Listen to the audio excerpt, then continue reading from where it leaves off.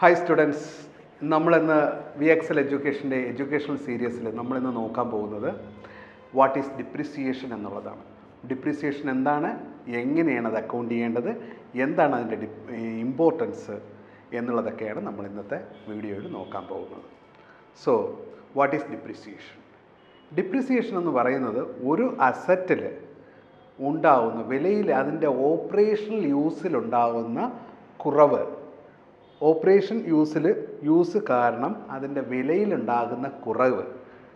കുറവ് അതായത് കുറവ് പല കാരണങ്ങൾ കൊണ്ടുവരാം. ഒന്ന് കണ്ടിന്യൂസ് യൂസ് വരാം. പിന്നെ രണ്ട് പാസേജ് ഓഫ് ടൈം വരാം. ഇനി ഒബ്സോലസൻസ് എന്നൊരു പ്രോസസ്സ് ഉണ്ട്. അത് അത് കാരണം വരാം. ഇല്ലെങ്കിൽ accident or any other thing ഇങ്ങനെ വന്ന് വരുന്ന ഓപ്പറേഷൻ വാല്യൂവിൽ ഉണ്ടാകുന്ന കുറവിനെയാണ് ഡിപ്രിസിയേഷൻ എന്ന് പറയുന്നത്. അത് ഇംഗ്ലീഷിൽ ഡിഫൈൻ ചെയ്തിരിക്കുന്ന സ്റ്റാൻഡേർഡ് ഡെഫിനേഷൻ ഇതാണ്. The diminution in the value of the asset due to wear and tear effluxion of time obsolescence or any other factors including accidents എന്നാണ് പറഞ്ഞിരിക്കുന്നത്.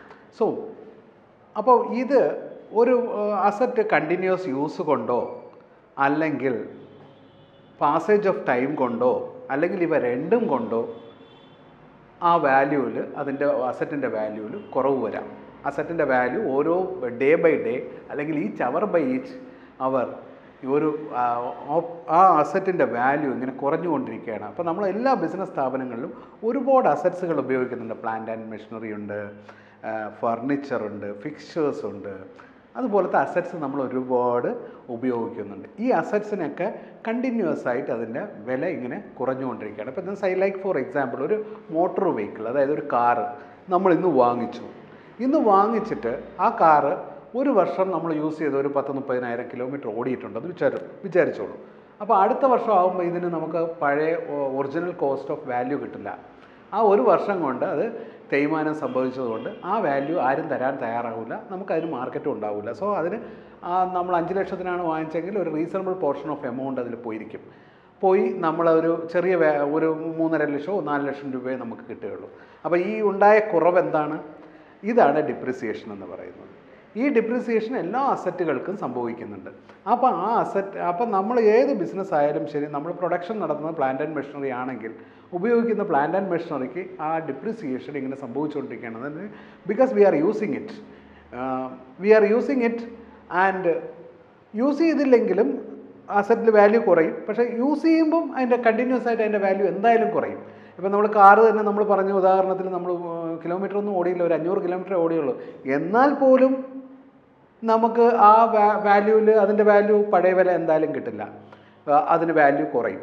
അപ്പം ഈ ഈ രണ്ട് കണ്ടീഷൻ ആ നമ്മുടെ ആ ഡെഫിനേഷനിൽ പറയുന്നതിൽ രണ്ട് കണ്ടീഷൻ വളരെ ഇമ്പോർട്ടന്റ് ആണ്. അതായത് യൂസേജ് അല്ലെങ്കിൽ എഫ് എഫ്ലുക്ഷൻ ഓഫ് ടൈം അല്ലെങ്കിൽ passage of time passage of time എന്ന് പറയുന്നതും കണ്ടിന്യൂസ് യൂസേജ് അതായത് വിയർ ആൻഡ് ടിയർ തേയ്മാനം സംഭവിക്കുക എന്ന് പറയുന്നത്. തേയ്മാനം കൊണ്ടോ അല്ലെങ്കിൽ പാസേജ് ഓഫ് ടൈം കൊണ്ടോ ആണ് മോസ്റ്റ് ഓഫ് ദ അസറ്റിന് വില കുറയുന്നത്. ഇനി മറ്റേത് അബ്സോലസൻസ് എന്താണെന്ന് മനസ്സിലാക്കണം. ഒബ്സോലസൻസ് എന്ന് പറഞ്ഞാൽ ഇറ്റ് ഈസ് എ പ്രോസസ്സ് ഒരു ടെക്നോളജിയിൽ വരുന്ന ഇമ്പ്രൂവ്മെന്റ് കാരണം ഒരു അസറ്റിന്റെ യൂസ് അതിന്റെ യൂസബിൾ വാല്യൂ കുറയും. ഓപ്പറേഷണൽ വാല്യൂ കുറയും. ഇപ്പം നമ്മൾ ടൈപ്പ് റൈറ്റിംഗ് ഒരു കാലത്ത് ഭയങ്കര ഇമ്പോർട്ടന്റ് ആയ ഒരു സാധനമായിരുന്നു.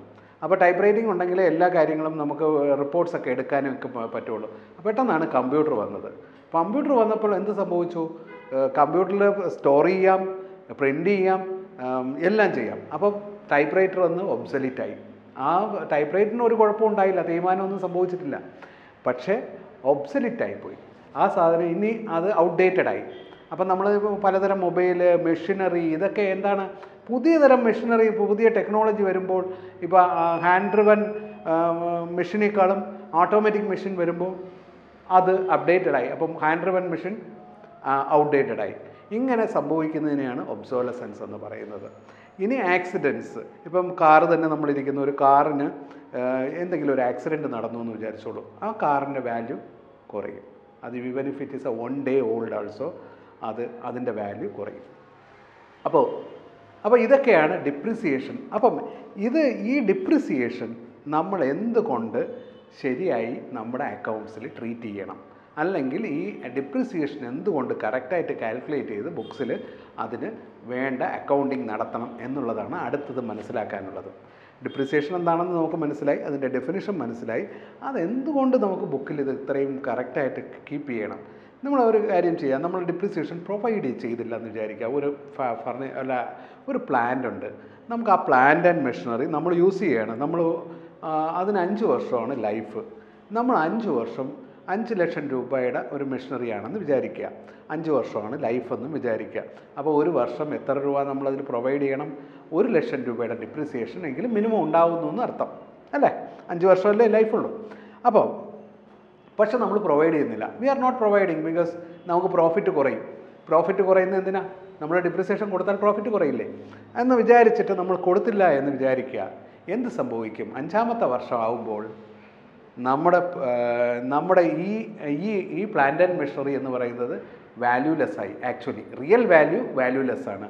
ബുക്കിൽ എത്ര ഉണ്ടാവും അഞ്ച് ലക്ഷം ഉണ്ടാവും. അപ്പം നമ്മുടെ ബാലൻസ് ഷീറ്റ് എന്തായിരിക്കും? തെറ്റായിരിക്കും. ഈ അസറ്റിനെ കൊണ്ടുപോയി എവിടെയെങ്കിലും വിറ്റാൽ നമുക്ക് പൈസ കിട്ടുമോ? കിട്ടില്ല. അപ്പോൾ അഞ്ച് ലക്ഷം രൂപ നമ്മുടെ ബാലൻസ് ഷീറ്റിൽ നമ്മുടെ അസറ്റ് സൈഡ് കൂടുതലായിട്ട് കാണിക്കും. എന്ന് വെച്ചാൽ ഒരു വാല്യൂ ഇല്ലാത്ത ഒരു അസറ്റിന് നമ്മൾ അഞ്ച് ലക്ഷം കാണിച്ചിട്ടുണ്ട്. അല്ലേ? ഒന്നാമത്തത്. അപ്പോൾ ഫൈനാൻഷ്യൽ പൊസിഷൻ തെറ്റാണ്. ഇനി അടുത്തത്. നമ്മുടെ ഈ അഞ്ച് ലക്ഷം രൂപ വാല്യൂ ഇല്ലാത്ത അസറ്റ് ആയതുകൊണ്ട് നമ്മൾ എന്ത് ചെയ്യേണ്ടി വരും? ഈ നഷ്ടം നമ്മൾ പ്രോഫിറ്റ് ആൻഡ് ലോസ് അക്കൗണ്ടിൽ കാണിക്കേണ്ടി വരും. അപ്പോൾ ആ വർഷം നമ്മൾ അഞ്ച് ലക്ഷം ഒന്നിച്ച് കാണിക്കുമ്പോൾ നമ്മുടെ പ്രോഫിറ്റ് ആൻഡ് ലോസ് അക്കൗണ്ടിൽ ഒറ്റയടിക്ക് അഞ്ച് ലക്ഷം രൂപയുടെ ഹിറ്റ് വരും. പ്രോഫിറ്റ് ആ വർഷത്തെ പ്രോഫിറ്റ് അഞ്ച് ലക്ഷം രൂപ കുറയും. അപ്പോൾ അതേസമയം നമ്മളിത് പ്ലാൻ ചെയ്ത് ഓരോ വർഷവും ഒരു ലക്ഷം വീതം എഴുതി തള്ളിയിരുന്നെങ്കിലോ? നമ്മുടെ ഡിപ്രിസിയേഷൻ നമ്മുടെ പ്രോഫിറ്റ് ആൻഡ് ലോസ് അക്കൗണ്ട് അഞ്ച് വർഷവും കറക്റ്റായിരുന്നേനെ ഇത് അഞ്ച് വർഷവും തെറ്റാണ്. അഞ്ചാമത്തെ വർഷം ഒന്നിച്ചെഴുതിയപ്പോൾ അപ്പോഴും തെറ്റാണ് എന്ന് വെച്ചാൽ ഈ വർഷം വേണ്ടാവുന്ന ലോസിനേക്കാളും കൂടുതൽ കാണിച്ചു. അതേസമയം ബാക്കിയുള്ള ലോസ് വർഷങ്ങളിലൊക്കെ ലോസ് ആയിരുന്നു ഒ- ഒരു ലക്ഷം കുറവായിരുന്നു നമ്മൾ അത്രയും കൂടുതൽ കാണിച്ചു. ആ വർഷങ്ങളിലൊക്കെ നമ്മൾ എന്ത് ചെയ്തു? ആ പ്രോഫിറ്റിന് ഈ ഒരു ലക്ഷം രൂപ കൂടിയ കൂടി നിന്ന പ്രോഫിറ്റിന് നമ്മൾ എന്ത് കൊടുത്തിട്ടുണ്ട്? ഇൻകം ടാക്സ് കൊടുത്തിട്ടുണ്ട്. സപ്പോ സോ ഡിപ്രിസിയേഷൻ നമ്മൾ പ്രൊവൈഡ് ചെയ്തില്ലെങ്കിൽ നമ്മൾ അനാവശ്യമായിട്ട് നമ്മുടെ ടാക്സ് കൂടുതൽ കൊടുക്കുന്ന ഒരു അവസ്ഥ വരും. പിന്നെ നമ്മുടെ ബുക്കിൽ നമ്മുടെ അസറ്റ് നമ്മൾ റോങ് ആയിട്ട് കാണിക്കും. നമ്മുടെ പ്രോഫിറ്റ് തെറ്റായിരിക്കും. പിന്നെ അങ്ങനെ രണ്ട് മൂന്ന് കാര്യങ്ങളുണ്ട്. അപ്പോൾ നമ്മൾ കറക്റ്റായിട്ട് ഡിപ്രിസിയേഷൻ പ്രൊവൈഡ് ചെയ്യേണ്ട ആവശ്യം നാല് കാര്യങ്ങളാണ്. ഒന്ന് correct determination of profit operational result correct determination of profit ഒന്ന്. രണ്ട് നമ്മൾ ബാലൻസ് ഷീറ്റിൽ ട്രൂ ആൻഡ് ഫെയർ വ്യൂ കാണിക്കണം. ഫൈനാൻഷ്യൽ പൊസിഷൻ കറക്റ്റായിട്ട് കാണിക്കണം. അത് അസറ്റ് കറക്റ്റ് അസറ്റിന്റെ വാല്യൂവിൽ കാണിക്കണം. ലയബിലിറ്റി കറക്റ്റ് ലയബിലിറ്റിയിൽ കാണിക്കണം. അപ്പം അസറ്റ് ഇവിടെ നമ്മൾ പറഞ്ഞ എക്സാമ്പിളിൽ പ്ലാന്റ് ആൻഡ് മെഷറി തെറ്റായിട്ടാണ് അഞ്ച് വർഷമായിട്ട് കാണിച്ചത്. അപ്പോൾ നമ്മൾ ഓരോ വർഷവും ഡിപ്രിസിയേഷൻ കാണിച്ചിരുന്നെങ്കിലോ ഈ അസറ്റ് വാല്യൂ കറക്റ്റ് ആയിരിക്കും. അതനുസരിച്ച് പ്രോഫിറ്റ് കുറയും. പ്രോഫിറ്റ് കുറയുമ്പം ലയബിലിറ്റി സൈഡിൽ ക്യാപിറ്റൽ അതനുസരിച്ച് അക്യുമുലേറ്റഡ് പ്രോഫിറ്റ് കുറവായിരിക്കും. അപ്പോൾ രണ്ട് സൈഡും ബാലൻസ് ആവും. ശരി. ഇനി മൂന്നാമത്തെ കാരണം ഇത് പ്രൊഡക്ഷനിലാണ് ഈ മെഷീനറി ഉപയോഗിക്കുന്നതെങ്കിൽ നമ്മുടെ പ്രൊഡക്ഷൻ കോസ്റ്റ് തെറ്റായിരിക്കും അല്ലേ? ഡിപ്രിസിയേഷൻ പ്രൊവൈഡ് ചെയ്തിട്ടില്ല. പ്രൊഡക്ഷൻ കോസ്റ്റ് നമ്മൾ കുറച്ചാണ് കാണിച്ചത്. അപ്പോൾ നമ്മൾ വിചാരിക്കും പ്രോഫിറ്റ് ആണെന്ന് വിചാരിച്ചിട്ട് വിറ്റ സാധനം ചിലപ്പം ലോസിലായിരിക്കും നമ്മൾ വിറ്റത്. അപ്പോൾ ഡിപ്രിസിയേഷൻ അവിടെയും നമ്മൾ കറക്റ്റായിട്ട് കാണിക്കാത്തതുകൊണ്ട് വന്നതാണ് അപ്പോൾ അതുകൊണ്ട് അതും കറക്റ്റായിട്ട് കാണിക്കുക അപ്പോൾ ഈ മൂന്ന് കാരണങ്ങളായി. ഇനി ഒരു ഇമ്പോർട്ടന്റ് ആയിട്ടുള്ള ഒരു കാരണമുണ്ട്. അതെന്താണ്? ഈ അഞ്ചാമത്തെ വർഷം നമ്മൾ നേരത്തെ പറഞ്ഞ എക്സാമ്പിളിൽ അഞ്ചാമത്തെ വർഷം ഈ മെഷീനറി വാല്യൂലെസ്സായി ഈ മെഷീനറി റീപ്ലേസ് ചെയ്യാൻ നമ്മുടെ കയ്യിൽ എവിടെ നിന്ന് പൈസ വരും? കാശ് വേണ്ടേ? അഞ്ച് ലക്ഷം രൂപയുടെ മെഷീനറി വാല്യൂലെസ്സായി കൊടുത്തു. സീറോയ്ക്ക് സീറോ വാല്യൂ നമ്മൾ ഡിസ്പോസ് ചെയ്തു. ആക്രിക്കടക്കാരന് തൂക്കി കൊടുത്തു. എന്ന് വെച്ചോളൂ. മെഷീനറി വർക്ക് ചെയ്യുന്നില്ല. തൂക്കി കൊടുത്തു. നമുക്ക് അഞ്ച് ലക്ഷം രൂപ വേണ്ടേ? ആ മെഷീനറി റീപ്ലേസ് ചെയ്യാൻ ആ പൈസ എവിടെ നിന്ന് വരും? അപ്പോൾ വേറാസ് നമ്മളിത് ഓരോ വർഷവും ഡിപ്രിസിയേഷൻ പ്രൊവൈഡ് ചെയ്തിരുന്നെങ്കിൽ നമ്മുടെ പ്രോഫിറ്റ് പ്രോഫിറ്റ് ഒരു ലക്ഷം കുറഞ്ഞു കാണിക്കുകയും നമ്മുടെ നമ്മൾ ഡിപ്രിസിയേഷൻ പ്രൊവൈഡ് ചെയ്യുന്ന ഒരു എക്സ്പെൻസ് ആയിട്ടാണ് പ്രൊവൈഡ് ചെയ്യുന്നത്. ഈ എക്സ്പെൻസ് എന്താണ്? ഒരു നോൺ ക്യാഷ് എക്സ്പെൻസ് ആണ്. വേറാസ് ഈ പ്രോഫിറ്റ് ചെയ്യുന്ന ഈ ഒരു ലക്ഷം രൂപ നമുക്ക് അവൈലബിൾ ആയിരിക്കും. പ്രോഫിറ്റ് കുറച്ച് കാണിച്ചിട്ടുണ്ട് അതിന് ഇൻകം ടാക്സ് പോയിട്ടില്ല. സോ നമ്മുടെ ഈ ഒരു ലക്ഷം രൂപ നോൺ ക്യാഷ് എക്സ്പെൻസ് നമ്മൾ കാണിക്കുമ്പോൾ ആ ഒരു ലക്ഷം രൂപ ക്യാഷ് ആയിട്ട് നമ്മുടെ കയ്യിലുണ്ട്. അല്ലേ?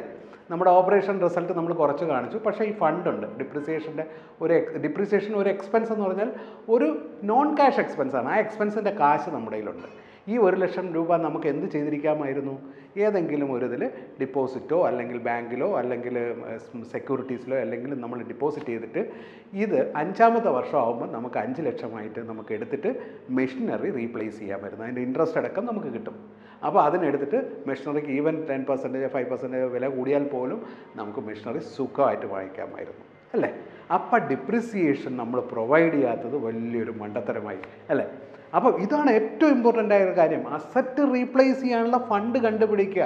അപ്പോൾ ഓരോ വർഷവും നമ്മളത് പ്ലാൻ ചെയ്ത് ഡിപ്രിസിയേഷൻ പ്രൊവൈഡ് ചെയ്താൽ മാത്രമേ ഇത് ഈ ഫണ്ട് നമുക്ക് അക്കോമഡേറ്റ് ചെയ്യാൻ പറ്റുള്ളൂ. അപ്പം ഇതാണ് ഒരു ഫൈനാൻസ് മാനേജറിന്റെ ഒരു ഒരു ഒരു റോളും കൂടെ അതിനകത്തുണ്ട്. അല്ലെങ്കിൽ ഒരു അക്കൗണ്ടന്റ് എന്ന നിലയ്ക്ക് നിങ്ങളാണ് അക്കൗണ്ട്സ് കൈകാര്യം ചെയ്യുന്നതെങ്കിൽ അതിന്റെ അസറ്റുകൾ ഏതൊക്കെയാണ് തായ്മാനം സംഭവിച്ചു പോകുന്നു അതിനൊക്കെ ഡിപ്രിസിയേഷൻ പ്രൊവൈഡ് ചെയ്തിട്ട് അതിനൊരു ഫണ്ട് മാനേജ് ചെയ്യണം അതിന് റീപ്ലേസ്മെന്റിനുള്ള പ്ലാൻ പ്ലാനിങ് ചെയ്തോണം. അഞ്ച് വർഷം കഴിഞ്ഞോ പത്ത് വർഷം കഴിഞ്ഞോ അസറ്റ് റീപ്ലേസ് ചെയ്യണമെങ്കിൽ എവിടെ നിന്ന് ഫണ്ട് വരും അതെങ്ങനെ വരണം എന്നുള്ളതൊക്കെ നമുക്കിപ്പോഴേ പ്ലാൻ ചെയ്യണം. അത് നിങ്ങളുടെ മാനേജ്മെന്റിന്റെ കൂടെയോ അല്ലെങ്കിൽ നിങ്ങളുടെ ബിസിനസ് ഹെഡിന്റെ കൂടെയൊക്കെ നിങ്ങൾ സംസാരിച്ചത് അത് അങ്ങനെ മാനേജ് ചെയ്യാൻ നിങ്ങൾ പഠിക്കണം. അപ്പോൾ അത് ഡിപ്രിസിയേഷൻ ഇത് ഇത് ആ ഡിപ്രിസിയേഷന്റെ പാർട്ടിൽ ഇത് വളരെ ഇമ്പോർട്ടന്റ് ആണ്.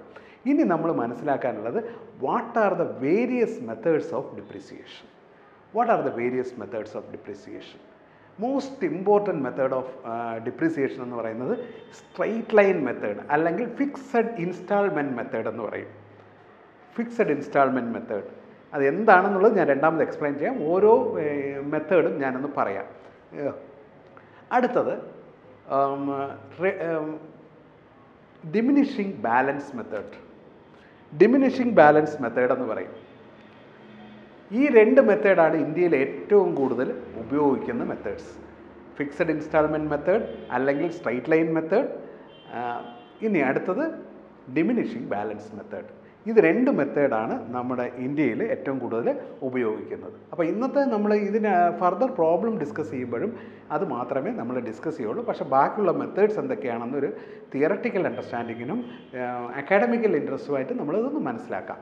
ഇനി അടുത്തത് സം ഓഫ് ഡിജിറ്റ്സ് മെത്തേഡ് എന്നൊരു മെത്തേഡുണ്ട് ആനുറ്റി ഫണ്ട് മെത്തേഡ് എന്നൊരു മെത്തേഡുണ്ട് നാലാമത്തെ മെത്തേഡ് അഞ്ചാമത്തെ മെത്തേഡ് സിങ്കിങ് ഫണ്ട് മെത്തേഡുണ്ട് ആറാമത്തെ മെത്തേഡ് പ്രൊഡക്ഷൻ യൂണിറ്റ് മെത്തേഡ് എന്നൊരു മെത്തേഡുണ്ട് മെഷീൻ അവർ റേറ്റ് മെത്തേഡുണ്ട് എട്ടാമത്തെ മെത്തേഡ് ഡിപ്ലീഷൻ മെത്തേഡുണ്ട് ഇത്രയും മെത്തേഡ്സാണ് ഡിപ്രിസിയേഷൻ കാൽക്കുലേറ്റ് ചെയ്യാനുള്ള മെത്തേഡ്സ് എന്ന് പറയുന്നത്.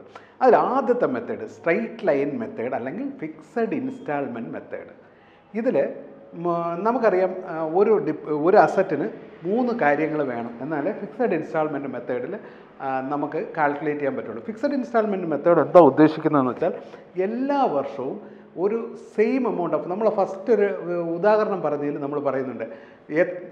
ഓരോ വർഷവും എത്രയാ ഡിപ്രിസിയേഷൻ അത് സെയിം എമൗണ്ട് ഓഫ് ഡിപ്രിസിയേഷൻ നമ്മൾ കാൽക്കുലേറ്റ് ചെയ്ത് ഒരു cost of life of asset calculate ചെയ്തിട്ട് ഫിക്സഡ് ഇൻസ്റ്റാൾമെന്റ് എത്ര ഓരോ വർഷവും എത്ര ഡിപ്രിസിയേഷൻ കാൽക്കുലേറ്റ് ചെയ്യണമെന്നുള്ളത് നമ്മൾ പ്രൊവൈഡ് ചെയ്യുന്നുണ്ട്. അപ്പോൾ ഇവിടെ നമ്മൾ ഒരു ഉദാഹരണം പറയാം. ഒരു ഒരു ലക്ഷം രൂപയുടെ ഒരു അസറ്റ് വാങ്ങിക്കുന്നു. അതിന് ഒരു ഒരു ലക്ഷം രൂപയുടെ അസറ്റിന് ഇരുപതിനായിരം രൂപയുടെ സ്ക്രാപ്പ് വാല്യൂ ഉണ്ടെന്ന് വയ്ക്കുക വയ്ക്കുക എട്ട് വർഷമാണ് ലൈഫ് ഇരുപതിനായിരം രൂപ സ്ക്രാപ്പ് വാല്യൂ ഉണ്ട്. അത് എട്ട് വർഷം കഴിഞ്ഞ് വിൽക്കുമ്പോൾ നമുക്ക് ആക്രി വിലയ്ക്ക് ഇരുപതിനായിരം രൂപ കിട്ടും എന്ന് വിചാരിക്കുക. അപ്പം ഒരു ലക്ഷം രൂപ ഉള്ള അസറ്റിന് എട്ട് വർഷം ലൈഫുണ്ട് ഇരുപതിനായിരം രൂപ സ്ക്രാപ്പ് വാല്യൂ ഉണ്ട് എട്ട് വർഷം കഴിഞ്ഞാൽ. ഓക്കെ അപ്പം ഒരു ലക്ഷം നമുക്ക് അസറ്റിന് എത്ര ഡിപ്രിസിയേഷൻ ഫിക്സഡ് ഇൻസ്റ്റാൾമെന്റ് മെത്തേഡ് അനുസരിച്ച് പ്രൊവൈഡ് ചെയ്യണമെന്ന് നോക്കിയാൽ total cost of asset minus scrap value scrap value ഇപ്പോൾ ഒരു ലക്ഷം മൈനസ് ഇരുപതിനായിരം എൺപതിനായിരം വരും. അതിനെ എട്ട് കൊണ്ട് ഡിവൈഡ് ചെയ്യുമ്പോൾ ഒരു വർഷം എത്ര ഡിപ്രിസിയേഷൻ പ്രൊവൈഡ് ചെയ്യണം? പതിനായിരം രൂപ ഡിപ്രിസിയേഷൻ പ്രൊവൈഡ് ചെയ്യണം. പതിനായിരം രൂപ ഡിപ്രിസിയേഷൻ പ്രൊവൈഡ് ചെയ്യണം നമ്മൾ മനസ്സിലാക്കി. ഇനി അടുത്തത് diminishing balance method diminishing balance method എന്ന് പറഞ്ഞാൽ ഫിക്സഡ് ഇൻസ്റ്റാൾമെന്റ് മെത്തേഡിൽ നമ്മൾ ഫിക്സഡ് എമൗണ്ട് ഓഫ് ഡിപ്രിസിയേഷൻ എല്ലാ വർഷവും റൈറ്റ് ഓഫ് ചെയ്യും. ഇവിടെയും നമുക്ക് സ്ക്രാപ്പ് വാല്യൂവും ഇതൊക്കെയാണ് വേണ്ടത്. സ്ക്രാപ്പ് വാല്യൂ വേണം ഒറിജിനൽ കോസ്റ്റ് ഓഫ് വാല്യൂ വേണം പിന്നെ എത്ര വർഷം എന്നുള്ളത് വേണം. അതിനൊരു എത്രയാ അപ്പോൾ ഇവിടെ നമ്മൾ ഫിക്സഡ് എമൗണ്ടിന് പകരം ഫിക്സഡ് റേറ്റ് വെച്ച് ഡിപ്രിസിയേഷൻ കാൽക്കുലേറ്റ് ചെയ്ത് റൈറ്റ് ഓഫ് ചെയ്യും. അതാണ് ഫിക്സഡ് റെഡ്യൂസ്ഡ് ബാലൻസ് മെത്തേഡ് എന്ന് പറയുന്നത്. അപ്പോൾ ഇവിടെ ഈ ഡിപ്രിസിയേഷൻ ഒരു പെർസെന്റേജ് വെച്ച് കാൽക്കുലേറ്റ് ചെയ്യുമ്പോൾ എന്ത് സംഭവിക്കുന്നു വെച്ചാൽ ഈ initial life of the asset നമ്മൾ കൂടുതൽ ഡിപ്രിസിയേഷൻ ചാർജ് ചെയ്യും. അല്ല അങ്ങനെ ഓരോ വർഷം കഴിയും തോറും ഇതിന്റെ ഡിപ്രീസിയേഷന്റെ എമൗണ്ട് കുറഞ്ഞു കുറഞ്ഞു വരും. എന്ന് വെച്ചാൽ റെഡ്യൂസിങ് ബാലൻസ് മെത്തേഡാണ് ഓരോ വർഷവും ഇതിന്റെ റെഡ്യൂസ് ചെയ്യും. ആ റെഡ്യൂസ് ചെയ്യുന്നതിനനുസരിച്ച് നമ്മൾ റേറ്റ് ഫിക്സഡ് ആണെങ്കിലും റെഡ്യൂസ് ചെയ്ത ബാലൻസിന്റെ മുകളിലാണ് നമ്മൾ റേറ്റ് അപ്ലൈ ചെയ്യുന്നത്. അപ്പം നമ്മുടെ ഡിപ്രിസിയേഷൻ ഗ്രാജുവലി ഡിക്രീസ് ആവും. ഇതൊരിക്കലും സീറോ ആവില്ല അസറ്റിന്റെ വാല്യൂ അങ്ങനെ ഒരു ഇതിനൊരു നെഗറ്റീവ് മാർക്കുണ്ട് ഈ ഇഫ് എ റെഡ്യൂസ്ഡ് ബാലൻസ് മെത്തേഡിൽ otherwise this method is also fine income tax act അനുസരിച്ചും കമ്പനീസ് ആക്ട് അനുസരിച്ചും ഈ രണ്ട് മെത്തേഡുകളാണ് റെക്കമെൻഡ് ചെയ്ത് ചെയ്യപ്പെട്ടിട്ടുള്ളത് ഇന്ത്യയിൽ സോ അപ്പോൾ ഈ രണ്ട് മെത്തേഡാണ് നമുക്ക് ഡീറ്റെയിൽ ആയിട്ട് പഠിക്കാനുള്ളത്.